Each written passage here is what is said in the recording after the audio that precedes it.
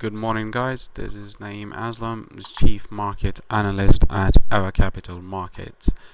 Uh, today we are going to do analysis on a crude oil and we have a daily chart in front of us so that we can find the trend, the longer trend for this price action. So because the more profit is only in the direction of the trend and most traders would agree that 90% of the trades should be in the direction of the trend and only 10% of the trades should be counter trends.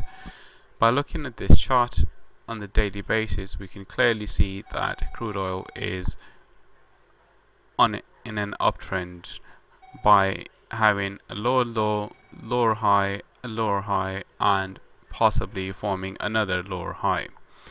Now the important thing to note is the where the price action is actually stalling at the moment. If we look towards the left hand side we do see a major support where this uptrend actually started and then price went into resistance and started falling back from here.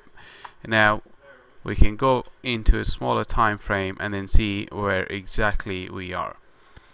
Now if you do recall on last Friday I was referring about this triangle. This triangle was forming and we were referring to this pattern trading that if price does break this triangle we could see the price action moving towards the support of 90 to 90 40 level. And this is what happened.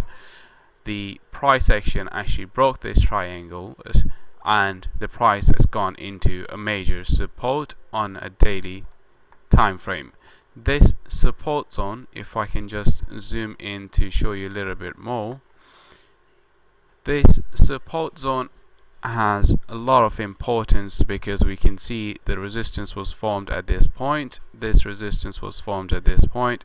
So the previous resistance the last two previous resistance was confirmed by this candle which confirmed that this is a good point of a support for the price to bounce back.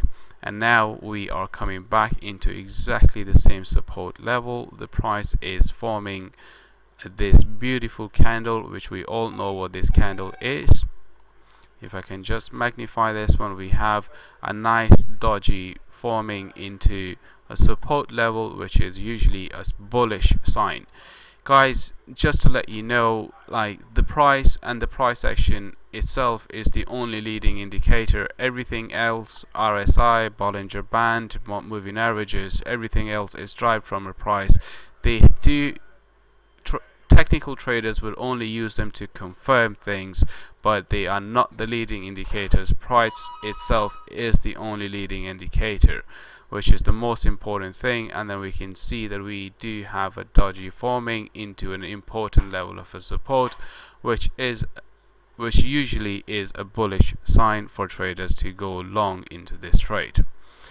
Okay so do let us know what your thoughts are and if you do not understand anything in this analysis uh, do leave us a comment and we will follow that up for you. Okay many thanks happy trading